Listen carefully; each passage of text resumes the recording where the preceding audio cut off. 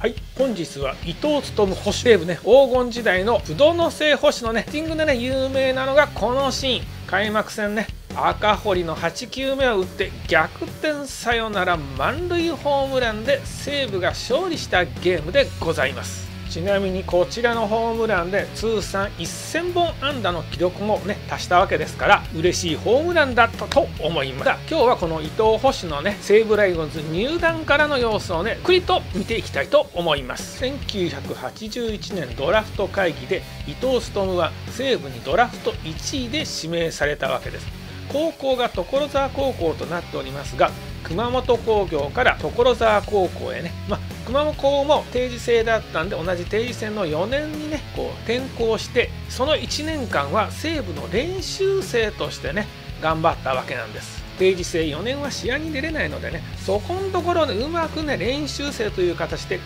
込んだね西武のねこのやり方。まあ後にねこういう練習生というやり方は阪神中込とか中日の逮捕とかいう、ね、例もあるわけです。こちら試合にもね出れるしって言ってますが、まあ、練習生はね、まあ、今で育成でもないんでね試合にもね出れなかったわけですよ。そして迎えた1年目のキャンプ。この年から西武の監督は広岡さんコーチにね森さんが就任してねいろいろなね指導が行われる中ね投手陣といえば東尾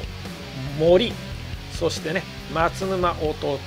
そして松沼兄のね松沼兄弟のね球をねこうやってね新人のね伊藤はね一生懸命ね受けてね練習をねしていったわけなんです。1年目から出場し初アンダーを放ったりしてね2年目もね56試合に出たわけです。2年目のね日本シリーズにね伊藤のね転機があったわけです。当時西武には黒田大石というキャッチャーがいたんですがどうもね巨人にね読まれてるんじゃないか。ということでね第4戦からこの伊藤がスタメンマスクをかぶることとなったわけなんですね。そしてね伊藤はこの4戦からねマスクをかぶってうまくリードをしてね日本シリーズ優勝にもね貢献して大抜擢にね大変ね応えた形となったわけなんです。日本シリーズのね経験をきっかけに3年目伊藤はねついにね西武ライオンズの正捕手となったわけでこの年はねなんと113試合に出場。打率2割8分4厘。ホームランもね10本打ってるんですよ。この成績ねキャッチャーとしてはいいですよね。キャッチャーで20盗塁といってね打ってよし走ってよし守ってよしのね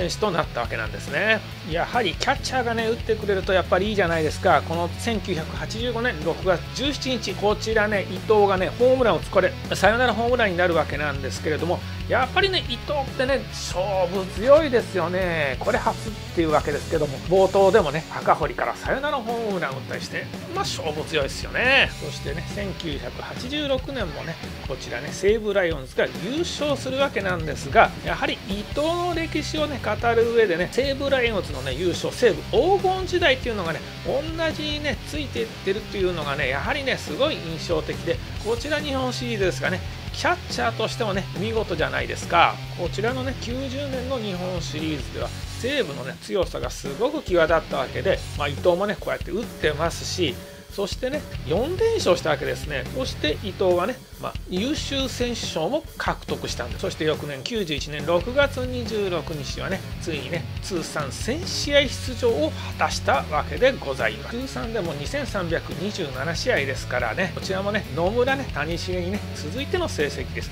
そしてねこの年の契約更改伊藤にとってはね嬉しい契約更改となったわけです。キャッチャーとしてね初の1億円プレーヤーになったわけです。インタビューでも他のキャッチャーにもね続いてほしいようなこととも言われてますしね。まあ名実ともにねこの当時のねキャッチャーの中ではねナンバーワン保守と言っても過言ではないでしょうか。バッティングやねキャッチャーとしてのねリード以外にもねこういったね俊敏なキャッチャーとしての動きそしてね当時はねこれねあったんですよね。ブロック。今じゃねこれはなかなかコリジョンでねなくなりましたがほんまね体の強いキャッチャーだったと思います。伊藤の歴史を軽く振り返った後はね今度はねかつてバッテリーを組んでいた工藤とのね名勝負をね見ていこうと思います。長年バッテリーを組んでいただけにねこういう対決は面白いと思うんですよ。実際にね工藤の球を受けていたわけですから、まあ、工藤の癖とか球質とかもね全部ね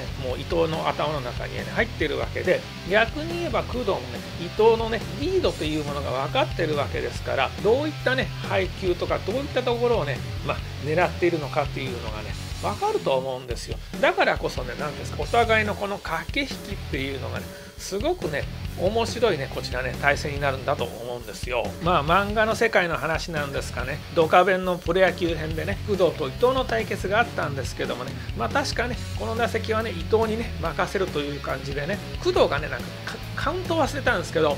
こう首を振ったからそこでねなんかカーブだかなんかを投げるっていうのをねこう伊藤がね見事に回ってね打ったというね,、まあね、描写をね当時水島新司先生書かれていたんですけどもね。やっぱりねそういうのがねこの実際のねこの対決にもねやはりねお互いね頭の中にはねあったんじゃないでしょうかね。でまあそういう話はねさておきね、まあ、こちら工藤のね投球がスローで流れてますかコース入ってますね。これストライクですね。ホークスキャッチャーはこちら城島ですね。当時はこのねピッチャーの工藤がキャッチャーの城島をねまあ、育てるという感じのね面もあったわけで、まあ、工藤もねこのねピンチはねセカンドにランナーを置いているわけですからどうにはね打たれたくないところですよね。さあそこでねバッター伊藤はね何を待っているのでしょうか。おっと城島外角によって投球アウトコースボールでねこれでカウント2エンド1 6回の裏1対0西武1点リードのね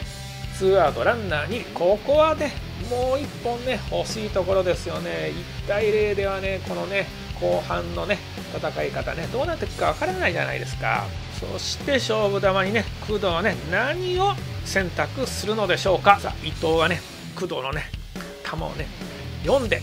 おっと落とされて三振ですね。伊藤がすごく悔しがっておりますね。漫画「ドカベンの借り」はねきっちりね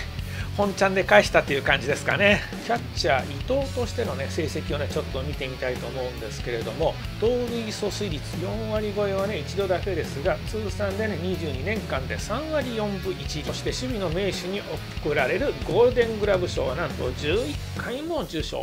この11回というのはね報酬部門ではね歴代最多となっております。そしてね特筆すべく記録がありましてまあ